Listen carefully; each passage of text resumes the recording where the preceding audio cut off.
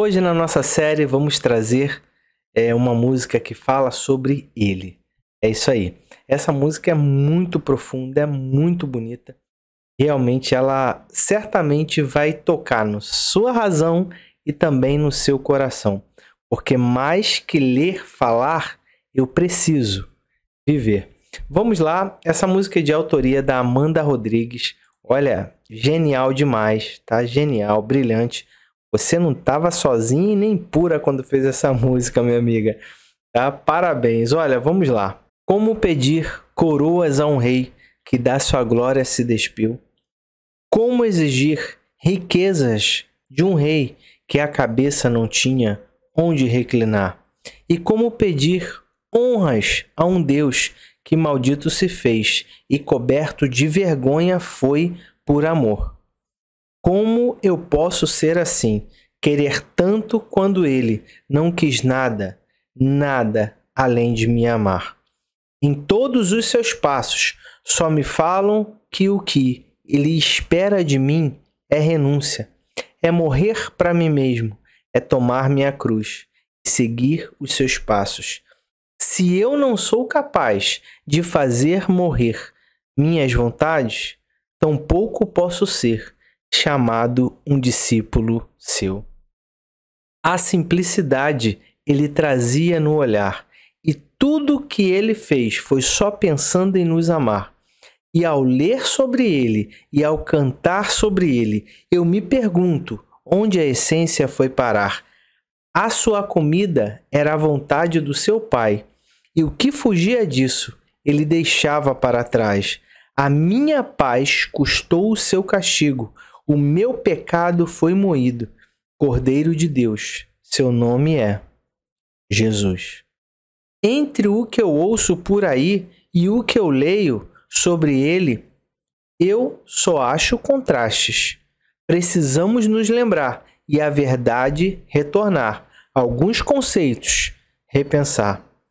Não se preocupou em ajuntar riquezas, e nele não se achava nenhuma beleza.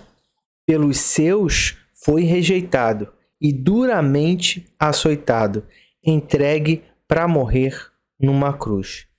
E quando eu digo que quero imitá-lo ou ser igual a ele, será que eu sou consciente do que isso quer dizer? Essa ela é genial demais. Essa música faz me lembrar é, de uma passagem do livro dos irmãos Karamazov, é, o, o Grande Inquisidor. O Inquisidor, né? O Grande Inquisidor. É, o que acontece na cena é que Jesus volta e aí chamam lá um bispo, né? É, da igreja ali e tudo mais, um grande líder da igreja, e levam ele preso.